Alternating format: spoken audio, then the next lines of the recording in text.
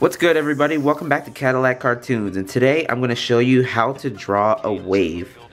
Now this video is inspiration from the most famous Japanese painting The Great Wave off Kanagawa by Katsushika Hokusai. And the reason I brought that up is because I'll be using the organic shapes of that painting for this video. Except when you look at the painting there's a boat in there, we won't be drawing the boat. Same with the sky. But mainly we'll just focus on the wave. Anything extra I'll probably throw in for like a few seconds and then, you know, you can do whatever. So that's what's gonna happen in today's video. So now let me run down the supplies you're gonna need.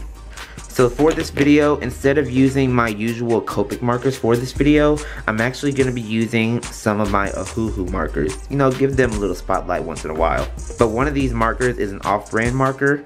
So it's uh, one of those cheap touch markers. I'm using 183 and it's a, a, dark eagle marker one of the cheap brands I found on Amazon. But brands like this you can only get in sets so if you are able to find a marker like this individually then that that could also work. So I'll be using that and then the Ohuhu markers I'm using in today's video are PB1 peanut butter one. I like to say that but it really stands for purple blue uh, PB 1, 2, and 6 are the Ohuhu markers I'm going to be using.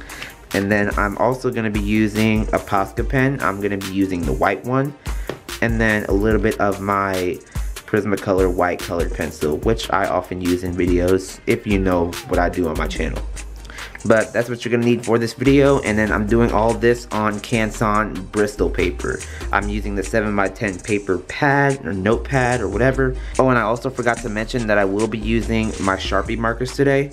I'm using my, uh, my retractable Sharpie. And then I'm gonna be using Big Fat Sharpie. When I get to that portion of the video, I'll tell you what that's for. Because I don't wanna ruin the surprise just yet. But anyway, now that we got that covered, let's go. So what we're going to do first, before we get to coloring the waves, we're actually going to start by sketching the waves. And it's really a no-brainer because water doesn't have a definite shape. So what I'm going to do to make this wave is I'm going to make two parallel lines, but they're going to be C-shaped because um, these are organic shapes. So that's going to be the shape of one wave. So one C shape will be big, one will be small.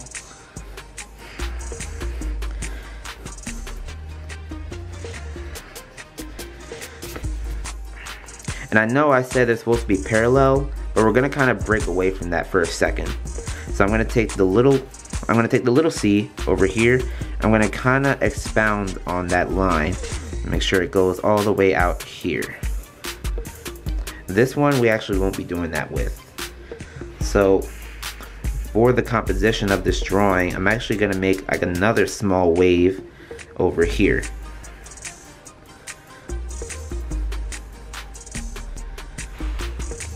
So that'll be another piece of water, I guess, I should say.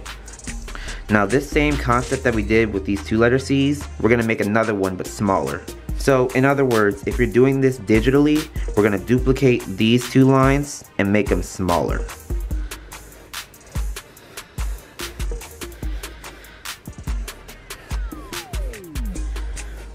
And remember, this line will come out.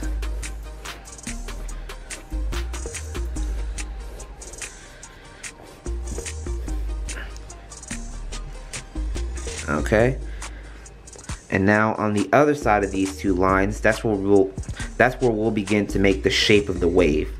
I mean, this C shape kind of does look like a wave, but but I'm going to create a different shape that'll make it look more like a wave. So I'm going to come back here and make a slope that goes up.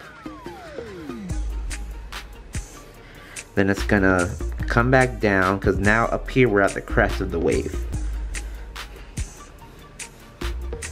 Like that.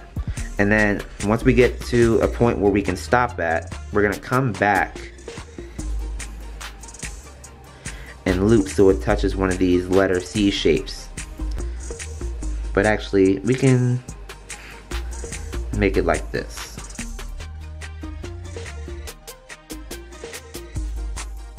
Now as you can see, I gave the wave a little bit more depth. So what I'm gonna establish right now at this point in the video, I'm gonna make this portion here. That's gonna be where most of the darker blues are. Now you don't have to shade it like I did with the pencil because we'll be erasing this later. But just so we have a clear understanding of where the shades are gonna go. So this portion of the wave will be lighter than this portion of the wave. And the same goes for this side. So let me go ahead and draw that in right quick. Same deal, just smaller.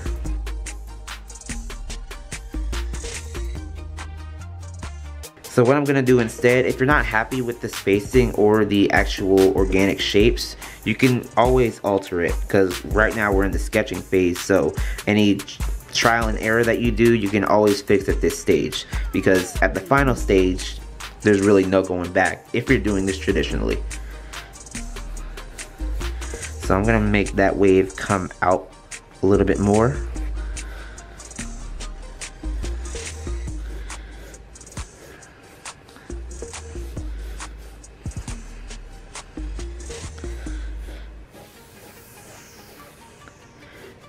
Because I felt like those waves were kind of spaced too close together.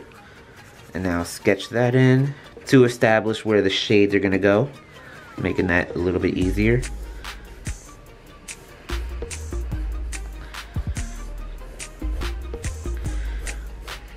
And make that line come out some more.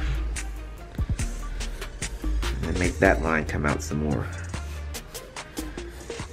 And like I said, anything else you want to fix, better do it now or forever hold your peace. Okay? So now I got to a point where I'm good, pretty much. So now I'm going to take my kneaded eraser and I'm going to erase the lines to an extent where I can still see them, but still they're barely, barely visible.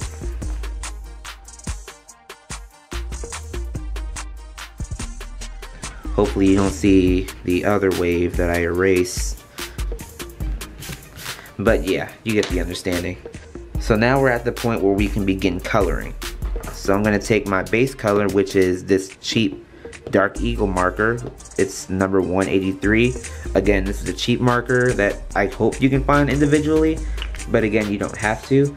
But like Hobby Lobby, I think sells markers like these individually, like cheap touch twin markers with numbers on them. The color is Phthalo Blue, if I'm pronouncing that right. But we're gonna use this as a base color. And keep in mind, what I'm doing here is making the lines uh, streaky.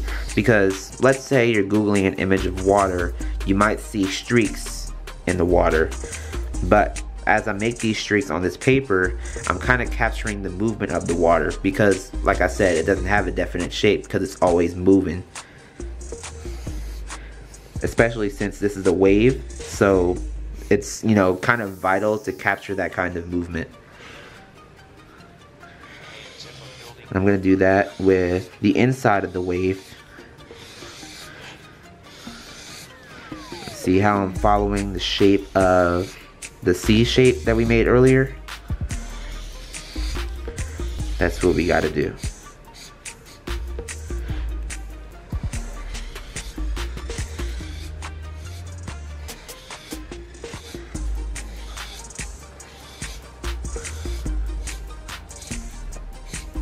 And then we can kind of extend those lines out just so they hit close to the edge of the page. Or that's something I want to do, that's my preference. But again, so they follow those same guidelines that I um, think I can't erase because I applied marker on top of it already.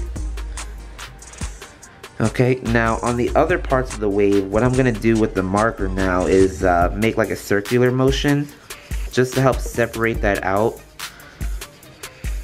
so I know what portion of the waves to shade and which ones not to.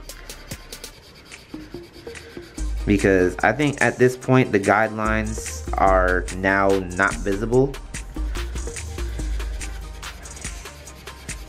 Or if not that they're kind of hard to see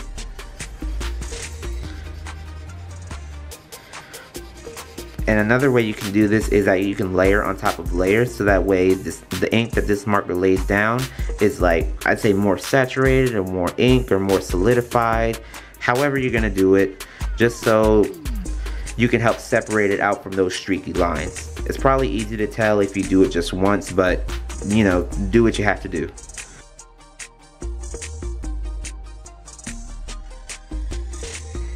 Okay, so we're good for adding the base color.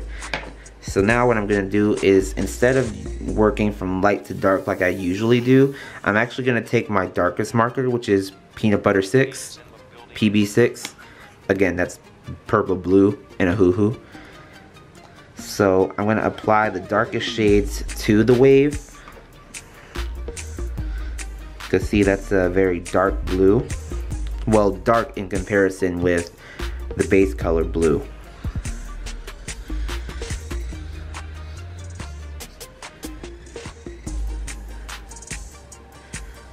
So I'm just gonna apply that. I'm actually gonna create sort of a cast shadow. Like see this movement of water here?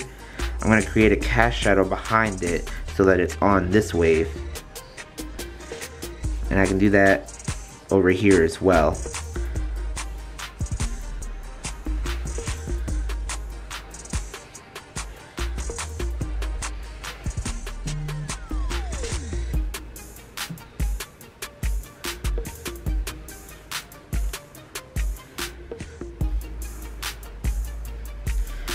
I'm also going to apply some shading right underneath the crest of the wave because once we add the white paint pen, it'll really make sense why we're adding shade there. So again, you can also layer in this area too, just so you can get a very, very dark blue. It might be difficult to blend later, so just contemplate that.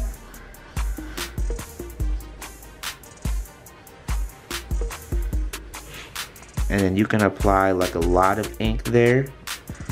Like say I'm adding this to a big area here I'm gonna do the same thing here.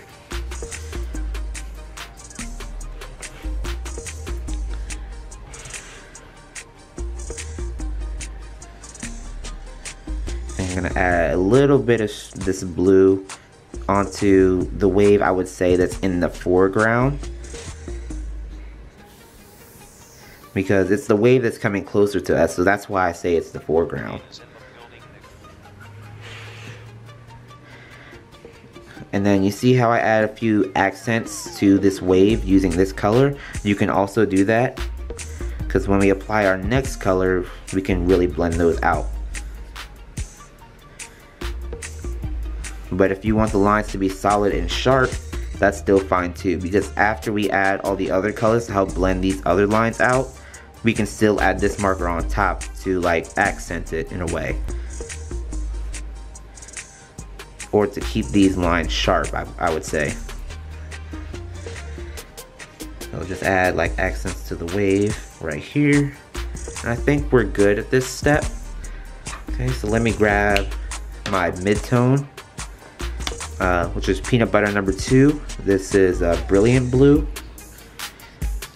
Because you see how it's uh, more saturated than this, than the last blue that we pulled out.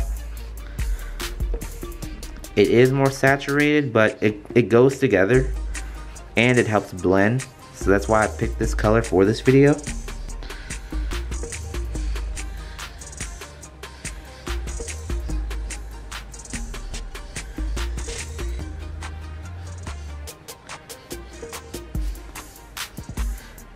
And then I'm to apply lots of this mid-tone over here because again, this area is a cast shadow.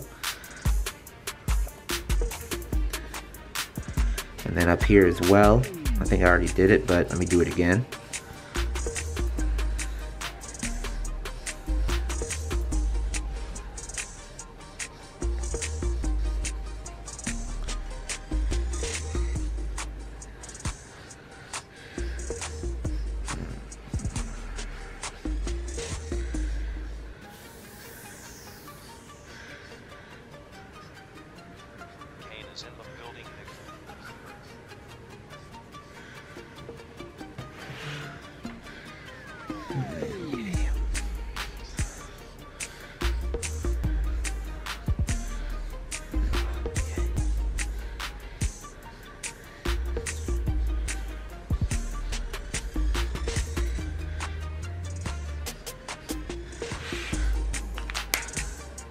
Alright, now that I'm done applying that, I can go ahead with my peanut butter one.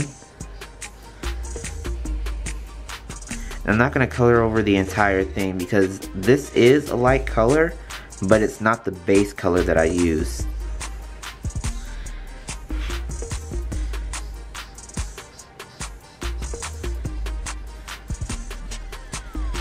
So I'm just gonna uh, expound on the blending.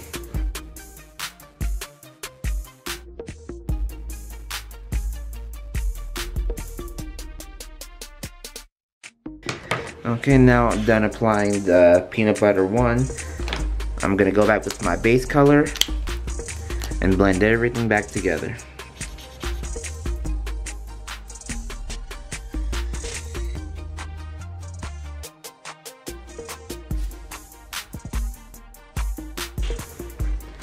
Okay, so now we're at the point where we're about finished adding shades to the waves.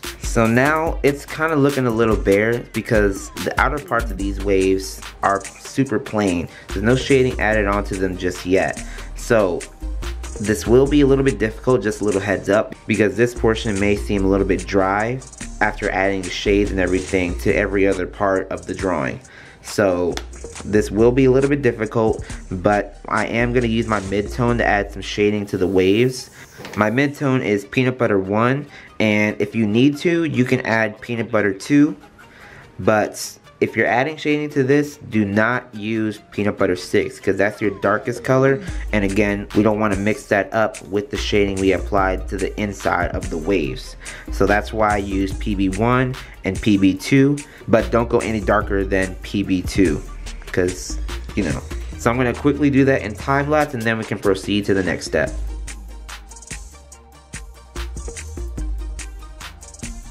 Okay, so now we're at this point in the video where we can add a background because after then we'll be applying the white paint pen and applying that on top of a white background, that won't do. So that's why I'm gonna bring in my big fat Sharpie and my other Sharpie so we can begin to solidify these lines. So I'm gonna use my retractable Sharpie and just go around the shape of the wave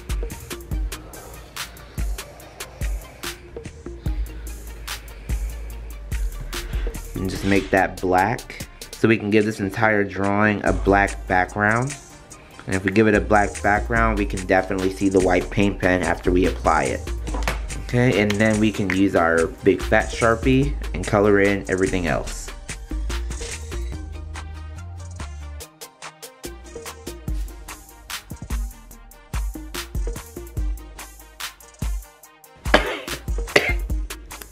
Now it stinks in here but anyway, we got the black background. So next thing we're gonna do is apply our white paint pen. But before we do, we're gonna give that a little shake.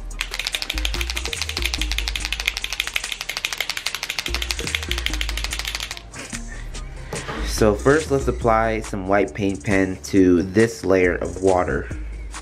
So again, water has a definite shape. So when you apply the white paint pen, there's no definite shape either. So what I'm gonna do is I'm just gonna kind of make some scribbles along the edges of what we drew. And if you want you can just like do a couple dabs just to give a sensation of water.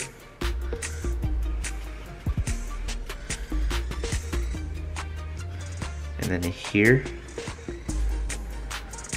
And then when we come up to the wave we can pretty much do the same thing, just do some scribbles.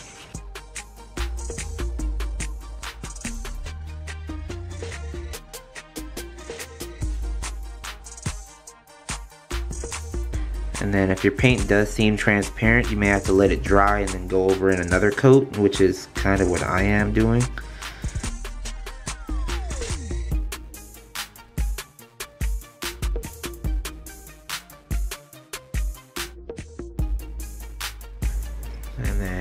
You know, touch up the edges with a couple dabs because there could be drops of water falling from the crest of the wave, which you can definitely see.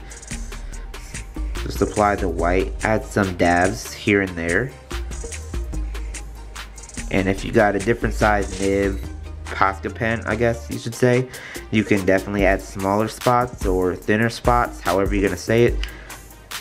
But I got a felt tip, so I gotta stick with what I got.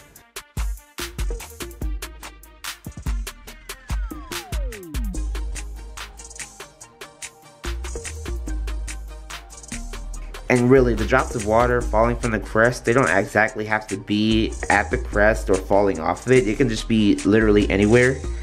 Because keep in mind, this is water. Again, it doesn't have a definite shape.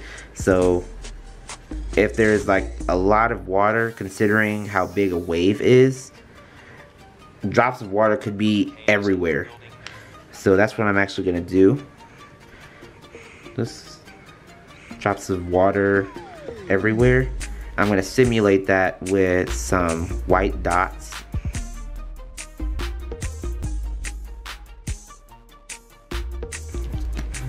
Okay, now before we end the video, there's one more thing we got to do. So I'm to take my white colored pencil, or if you have a gel pen, you can also you can also use that. But what I'm to do is add some shine to the movement of the waves because again that's the shading portion or supposedly the shading portion. So I'm gonna add some white colored pencil to help highlight that.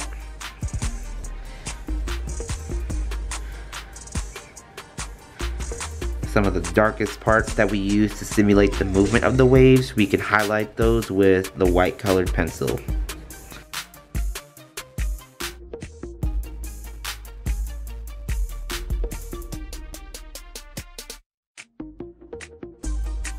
So I accidentally did this off camera, but I applied more shading along the wave just to help give it some contrast because earlier it was kind of clashing with the color of the back of this wave. So let's compare this to Hokusai's painting. So here we got the main wave, that's what I did, and I also included like a foreground wave. I want to call it a foreground wave. But before making this video, I honestly thought there was a second wave in the painting. But at the same time, I also thought that I should put this wave in this video just to help fill that negative space because I wasn't gonna make this one super big like it is in the painting. Because my ultimate goal wasn't to make it exactly how the painting is but get inspiration off it. But if you take a look at the foreground wave there's no boat or canoe or such. There's no canoes at all in my drawing but there's two in Hokusai's painting but yeah, with that being said, that's how you draw a wave using markers, colored pencils, and a paint pen. But if you do want to do this with Copic markers, I will put a list of equivalent Copic colors somewhere on the screen so that way you can do this with Copic markers. But with that being said, that's it. If you liked the video or if you found it useful, give it a like and a comment, subscribe if you haven't, and tap the notification bell so you never miss an upload. And I'll see you in my next video cake.